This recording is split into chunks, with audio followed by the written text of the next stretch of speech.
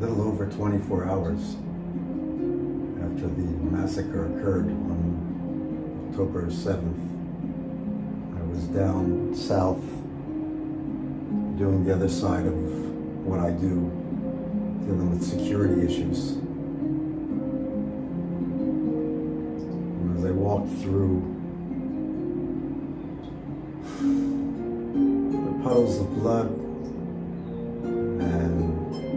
ashes, people that were massacred, it's something that I can't get it out of my mind. Probably never will. This painting that I made a long time ago, this is a, an artist proofed embellished print. That I made originally based on Tisha B'Av, a day of, tragedy for the Jewish people, the destruction of the temples and so on. So I just took this painting back from an exhibition that it was on and decided I had to change it. Work a study maybe for a larger painting. The paint that I'm using, like you saw, I mixed, I textured it with gunpowder.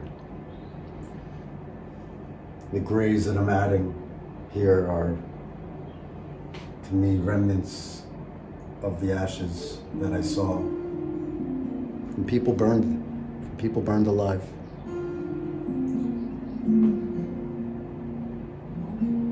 So I have to make another painting dealing with it. This is just a study, but I'll probably be working on a larger one soon. Original work is actually called Eicha, a Hebrew word meaning how, uh, when used like, how does this happen? It's written here in ancient Hebrew also. It's the word used to open up the reading of Lamentations on our lousy days.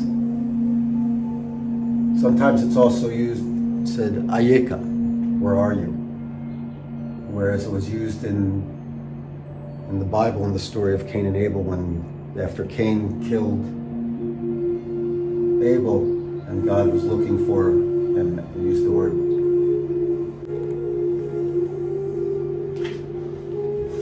the music in the background that I've been listening to, the various chants deal with peace among mankind. Ironic, maybe. Maybe there'll be a day when man appreciates peace more than he does war.